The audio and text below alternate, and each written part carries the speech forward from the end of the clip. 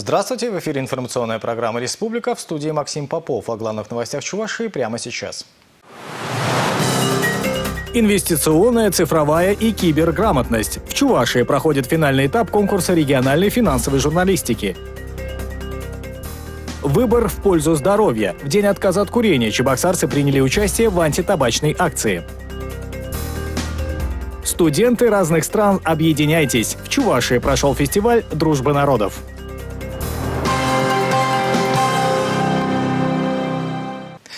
Чебоксарский аэропорт превратится в современную воздушную гавань. К масштабной реконструкции планируют приступить уже в этом году. Проект реконструкции столичного аэропорта получил положительное заключение глав госэкспертизы России. Сейчас предстоит получить разрешение на строительство объекта. У авиаперевозчиков на него большие планы. От старого здания не останется практически ничего. То есть на, основании, на основе старого здания будет расстроен новое здание, внутреннее наполнение будет полностью пересмотрено, перестроено и перепланировано. Реконструкция пройдет в четыре этапа и завершится к 2023 году, после чего площадь аэропорта увеличится. Появится пристрой со стороны перрона и привокзальной площади. Вернется к работе второй этаж, который около 10 лет был закрыт. Наверху будет зона вылета, точки торговли и питания. Внизу пункт досмотра, регистрация и лента получения и выдачи багажа. Это не просто частный проект, это проект для города и для республики социально значимый. И, конечно, мы на каждом этапе его реализации будем его сопровождать и помогать инвестору. На время реконструкции работа воздушной гавани остановлена не будет. В перспективе аэропорт должен принимать одновременно несколько самолетов. Инесса Потапова, Регина Кубайкина, Бахтияр Велиев, Республика. О новых правилах размещения в многоквартирных домах оборудования операторов связи говорили на совещании в Доме правительства. Речь идет об упорядочении подключения телевизоров, интернета, работе сотовой связи.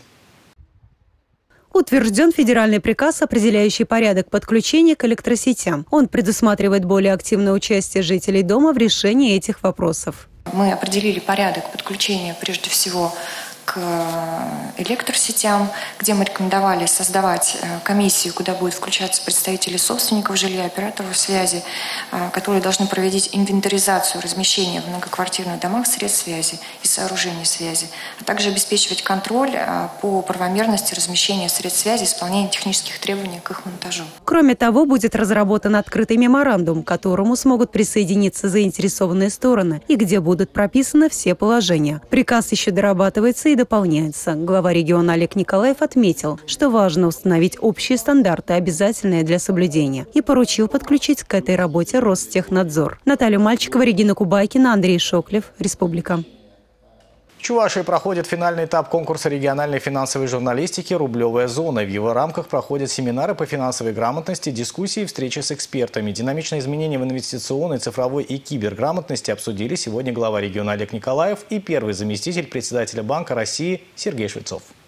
В Чувашии второй год работает Центр финансовой грамотности населения. Здесь формируют грамотное обращение с деньгами у всех слоев населения, от учащихся до пенсионеров. И неважно, наличные это средства или банковские карты. Работа Центра направлена на защиту интересов граждан, отметил Олег Николаев. По мнению Сергея Швецова, формирование у населения культуры отношения к деньгам – очень важный аспект. У нас так финансовый рынок устроен, что он сейчас все больше и больше растворяется в нефинансовых сервисах. То есть вы приобретаете в магазине чайник и даже не понимаете, что получаете кредит. Да? То есть вам кажется, что вы покупаете в рассрочку, на самом деле вы получаете кредит. Вы покупаете машину, вам дают страховку. Вы берете ипотеку, вам дают страховку. Киберграмотность, цифровая грамотность – это то, что позволяет человеку в этом во всем разобраться и принять правильное решение. Сегодня же Сергей Швецов принял участие в круглом столе Комитета Государственной Думы по финансовому рынку. Там состоялась встреча с журналистами и победителями конкурса «Рублевая зона». Сразу после этого состоялся брифинг с участием председателя комитета Анатолием Аксаковым. Подробнее завтра в наших выпусках новостей.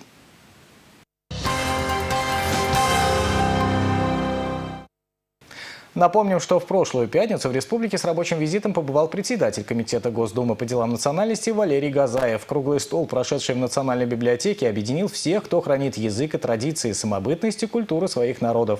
Чувашия стала родным домом для 128 национальностей. В республике работает более 30 национально-культурных объединений. Уважаемые коллеги друзья, Значит, э, я хотел бы несколько слов сказать на чувашском языке. Всех Иракун Полтар.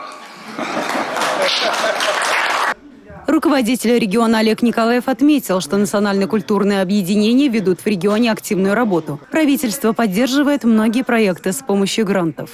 Та работа, которая на сегодняшний день Чувашская республика организована в области национальной и межнациональной политики, она носит системный характер. И мы здесь нацелены, прежде всего, сохранить то согласие, которое всегда было свойственно для Чувашской республики. Ну и, конечно же, сделать все, чтобы каждому жителю Чувашской республики, независимо какой национальности или вероисповедания он не был, ему было комфортно здесь э, жить и развиваться. Во главу угла в республике ставит продвижение родного языка. В 67 детских садах и 158 общеобразовательных школах реализуют программы дошкольного образования на чувашском языке. Три детских сада и пять школ на татарском. Кроме того, готовится новый учебно-методический комплект по чувашскому языку. Учебник поступит в школы к началу нового учебного года. Валерий Газаев согласился с тем, что сохранение национальной идентичности неразрывно связано с развитием языка. По его мнению, вопрос по объединению регионов, который активно обсуждается в обществе, нуждается в детальной проработке. И действовать здесь надо осторожно. Мое мнение, нельзя значит, две совершенно разных республик э, объединять непонятно, так сказать. У каждой республики свои традиции, культура, история, э, в конце концов, так сказать, обычаи. Поэтому э, вместе, ну, это сложно будет, на мой взгляд. Да, есть, допустим, ну, республики, которые, может быть, которые действительно, так сказать, есть единое, единый язык, единое понимание, значит, отношения, культура единая. Может быть, и есть смысл. Значит, а что касается просто взять огульно две республики соединить, мне кажется, что мое мнение, это неправильно.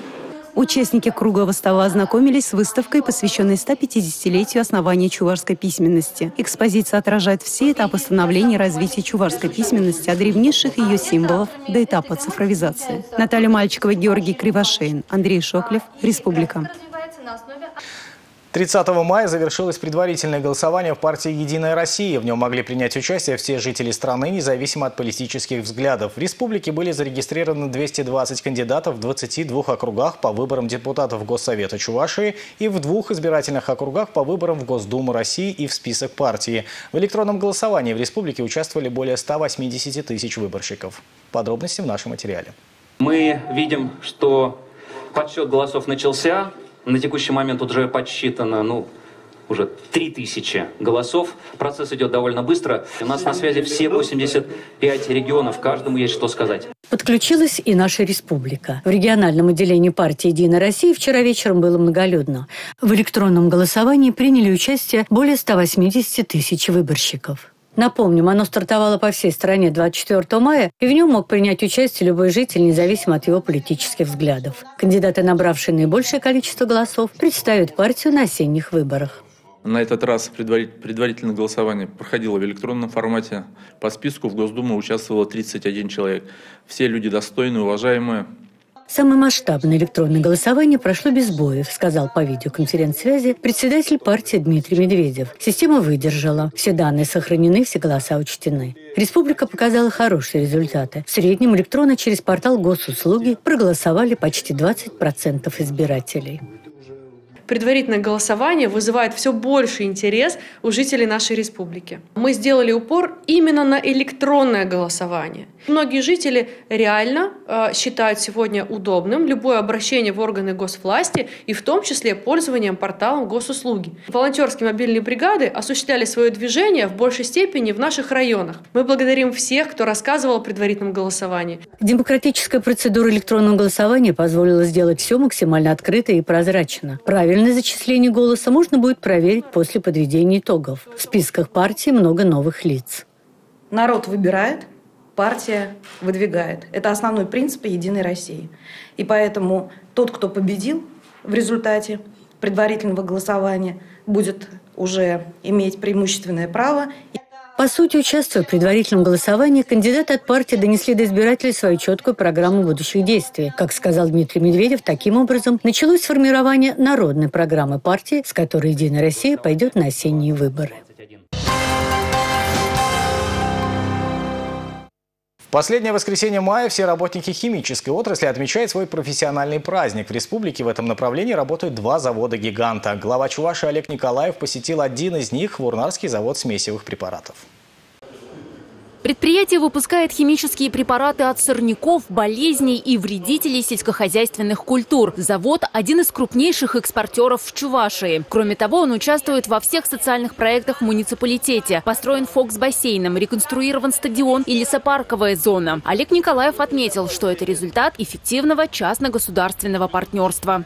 Самое главное – взаимное доверие между бизнесом и властью, которое в итоге потом монетизируется в конкретный результат.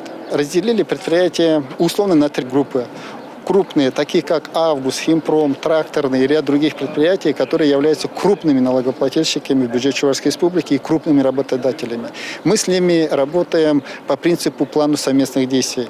Когда намечаем некие общие направления, прежде всего основываемся на планах развития этих э, гигантов и дальше смотрим, какие инвестиционные проекты э, э, надо синхронизировать с планами развития этой территории. И это дает колоссальный эффект. Еще одно градообразующее предприятие района – местный мясокомбинат. В хозяйстве около пяти тысяч голов крупного рогатого скота. Предприятие находится на втором месте по валовому надою среди сельскохозяйственных организаций. Строятся новые площадки. Уже запустили коровник на 440 голов, возводят телятник. Поголовье увеличивается. Так как мы плем предприятия, нам нужно стадо либо продавать 10%, либо э, повышать наше стадо. Мы решили, что нам ну, выгоднее повышать стадо, и 10% мы ежегодно повышаем стадо. Э, благо у нас телята есть, для этого мы строим и новые родильные отделения, вот телятники строим. Производство молока в организованных хозяйствах республики продолжит поддерживать специальными программами. Здесь по сравнению с личными подсобными хозяйствами можно четко планировать объемы и отслеживать качественные характеристики продукции, отметил глава региона. Татьяна Трофимова, Георгий Кривошеин, Республика. 31 мая – день отказа от курения. По всей стране проводится акция антитабачной направленности. В Чебоксарах студенты-волонтеры медицинского колледжа и специалисты республиканского наркодиспансера и Центра медицинской профилактики вышли на улицы Чебоксар, чтобы еще раз напомнить горожанам об ответственности за свое здоровье. 31 мая – день бестабачного дыма. Я не за курящую Россию. А ты? Мы не курим, и нам нравится. С такими лозунгами ломать стереотипы вышли на улицы столицы участники акции против курения. Волонтеры-медики уверяют, что эта акция непременно должна помочь тем, кто на распутье. Воспользоваться моментом и попытаться отказаться от этой весьма вредной привычки. Хорошо, что я не курю. Возьмите, пожалуйста, буклеты. Вот. Курение вредит здоровью. Никогда не пробовал и не буду. Это выгодно и будет меньше проблем со здоровьем. Сам видел, как э, курящие люди задыхались, вот, когда курят. Э, во-первых, ну, во-вторых, еще это экономично для сбережения как денег. Потому что многие люди на курение тратят много своих денег. С новыми сигаретами, которые сейчас придумывают люди, это по типу электронных сигарет и всяких вейпов, э, я мало знаком, но я считаю, что они тоже вредят здоровью. Татьяна Чемякова, как будущий медработник, знает состояние здоровья современной молодежи, объясняет актуальность подобных акций. Слишком равнодушны и самоуверенно стали парни и девушки, и при этом не слишком хорошо представляют себе последствия вредных привычек.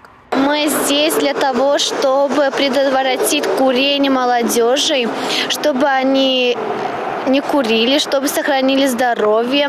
У них должны быть свои цели, свои желания, чтобы не курить и бросить курить. Наше здоровье в наших руках. Табачная зависимость лечится вполне успешно. Надо лишь правильно настроиться и замотивировать себя. В этом году акцию решили провести под девизом «Возьмем обязательства, прекратим курить». И именно в период COVID курильщики были наиболее уязвимой группой населения, которые страдали от вируса.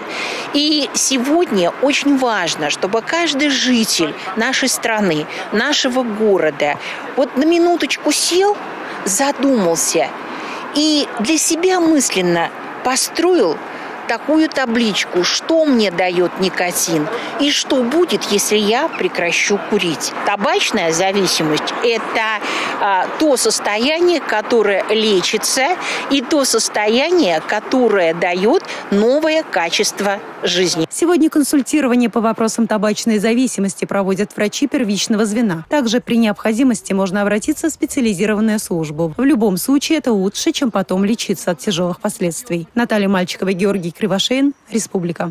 Детской музыкальной школе номер 5 имени Филиппа Мироновича Лукина в этом учебном году исполнилось 50 лет. Полвека назад она открылась в одном из столичных микрорайонов, который только еще застраивался, и за эти годы стала творческим центром для юных чебоксарцев.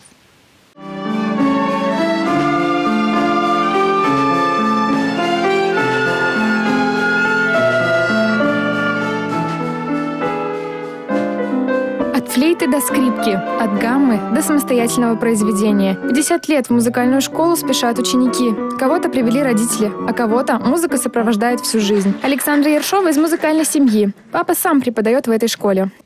Я с первого класса обучаюсь игре на флейте, но параллельно еще играю на фортепиано. Уже в этом году я буду поступать в музыкальное училище Чебоксарское имени Павлова. Музыкальная школа научила не только нотной грамоте, но и помогла обрести друзей. Все-таки мир музыки – это особый мир, и поддержка единомышленников просто необходима. Это второй дом, я каждый день сюда ходила, уроков много было. Тут была поддержка, даже если в школе тяжело, могли помочь как-то. Так. Ну, хочу, чтобы дети сюда поступали и ходили сюда с удовольствием. Музыкальная школа номер пять специализируется на нескольких направлениях. Это и обучение игре на музыкальных инструментах, и вокальное мастерство, и даже театральное искусство. А еще каждый ученик знает о том, какой след в чувашской культуре оставил выдающийся музыкант, чье имя носит школа – Филипп Лукин. Это замечательный музыкант, который для Чувашской республики сделал огромное дело. Он собрал народ на певческом поле, пометуя о словах Петра Хузангая о том, что наша республика – это страна 100 тысяч вышивок, да, узоров и песен, конечно. Поэтому мы поющая школа. Это для нас важно, почетно, и это притягивает очень многих, потому что талант, умение петь, он всегда с собой у детей. Талантливые педагоги, целеустремленные воспитанники, полвека богатого прошлого, яркого настоящего и блестящего будущего. Все это столичная детская музыкальная школа номер 5 имени Филиппа Мироновича Лукина. Ульяна Пятакова, Татьяна Раевская, Игорь Зверев, Республика. В Чувашском государственном университете имени Ульянова прошел фестиваль «Дружба народов. Ритмы мира». Он объединил студентов разных стран.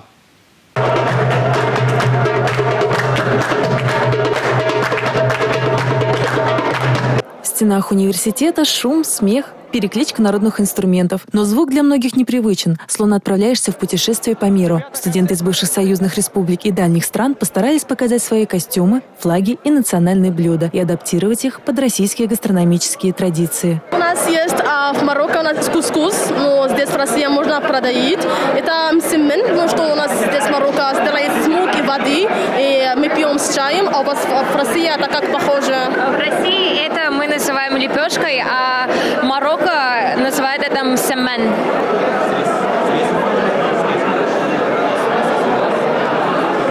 Это очень вкусно. У нас есть одна дерево, которое называется имондейру. Она дает вот это плоды, да, плоды, которые называются муква. Из этого можно делать коктейль, соки, просто сладкий.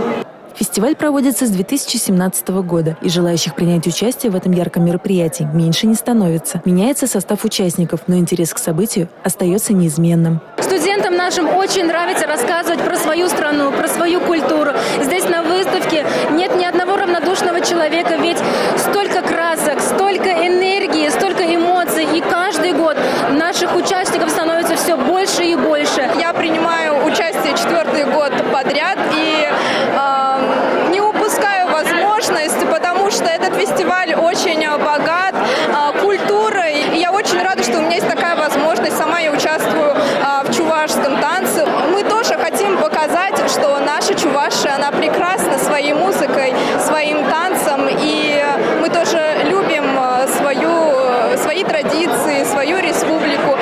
Фестиваль продолжился интернациональным концертом. И тут язык культуры зазвучал еще выразительней.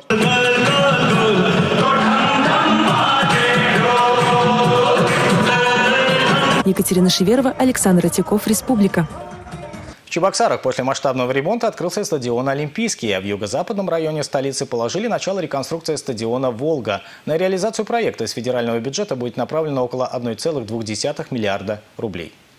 Обновить футбольное поле на Олимпийском удалось благодаря федеральному проекту «Спорт. Норма жизни». Региону были выделены субсидии в размере около 8,5 миллионов рублей. На эти средства на футбольном поле заменили дренажную систему, наружное освещение, установили современное информационное табло, трибуны для зрителей, судей и запасных игроков. Стадион «Волга» – один из старейших в городе. Когда-то это было самое популярное место отдыха у жителей Чапаевского и Кировского поселков. И сегодня спрос на услуги спортивного объекта большой. После реконструкции здесь появится трехэтажный физкультурно-оздоровительный комплекс, в котором будут залы тяжелой атлетики и единоборств, два универсальных спортивных зала и бассейн. Кроме этого, запроектированы ледовая арена и стадион с полноразмерным футбольным полем. Создаем комфортные условия жизни, в том числе для занятий физическим спортом, э, физкультурой и спортом для людей, которые здесь проживают. И уверен, что это место будет любимым э, не только для жителей юго-западного района города но и для всех жителей города возможно, даже и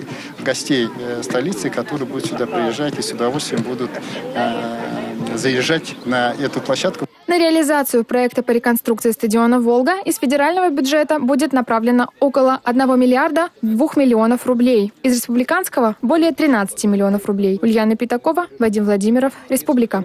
В столице Чувашии завершились предолимпийские старты по спортивной ходьбе. По итогам российского командного первенства из 12 регионов хорошие результаты показала Республика Мордовия. Чувашия на пятом месте. В столицу Чувашии приехали почти 180 легкоатлетов. Впервые местом проведения соревнований сильнейших скороходов страны стала Московская набережная. По первым отзывам тренеров, э, спортсменов, место, говорят, еще лучше, чем даже на Певческом поле. Потому что тут структура сейчас э, после капитального ремонта, э, и пляж, и дорожка очень хорошая, асфальтовое покрытие классное. Поэтому большинству и спортсменов, и тренеров – и представителей это место очень понравилось. Основные старты чемпионата мужские и женские заходы на дистанции 50 и 20 километров прошли в субботу, а в воскресенье на стадионе Олимпийский состоялись юношеские и юниорские заходы в дистанции 3, 5 и 10 километров. Соревнования открыл председатель Комитета Государственной Думы России по делам национальностей Валерий Газаев. Действительно, Чувашия достаточно мощная, сильная спортивная держава. Глава Чувашская республика Олег Алексеевич Николаев делает все возможное, чтобы действительно спорт развивался, не только профессиональный спорт, любительский. Это очень важно. Очень важно, чтобы все занимались спортом, потому что это здоровье, это норма здоровья. В состязаниях приняли участие свыше 30 спортсменов из Чувашии. Ходаков пришли поддержать коллеги те, кто раньше занимался этим видом спорта. В их числе Александра Деверинская, Ольга Чугунова и Ольга Еруткина. Очень гордимся, что мы действительно занимались, мы были командой прекрасной. И вот мы часто встречаемся, встречаемся на соревнованиях, и нам есть что вспомнить. Но пока да. у четырех спортсменов До сих пор дружим мы спортсмены. Да, спорт э, укрепляет дружбу. Пришли посмотреть сегодня на своих, на набережной, новая трасса. Очень нам нравится. Здесь свежий воздух, Волга рядом. По результатам чемпионата спортсмены из Мордовии показали в этом году наилучшие результаты. Чувашия оказалась на пятом месте. Однако в дистанции 20 километров наша спортсменка Марина Новикова завоевала бронзовую медаль. Кирилл Фролов на дистанции в 50 километров оказался в шаге от призового места. Екатерина Шеверова, Игорь Зверев, Республика. Это главные новости Чувашии в понедельник, 31 мая. До свидания.